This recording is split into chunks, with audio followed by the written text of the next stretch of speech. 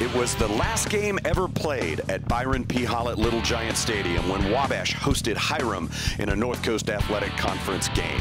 The Little Giants, looking to stay in first place in the conference standings, got off to a red hot start. Liam Thompson finds Isaac Avant on a short screen pass that the senior running back turns upfield for 29 yards.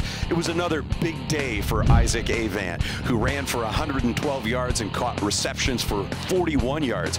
Here, dashes into the end zone from five yards out, bulls his way in for the touchdown. Liam Thompson, the freshman quarterback, threw for 155 yards. Here he finds his favorite receiver, freshman Cooper Sullivan, five yards out. One of two scores on the day for Sullivan.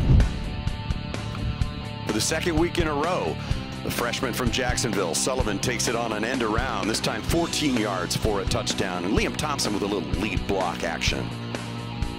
The defense was great today. Shut out the Terriers and made eight quarterback sacks. Malcolm Lang, the junior, had a breakout performance, two and a half sacks.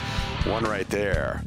Little Giants win 24 to 0, 7 and 2 on the season. They win a conference championship and win the 205th game in Little Giant Stadium history.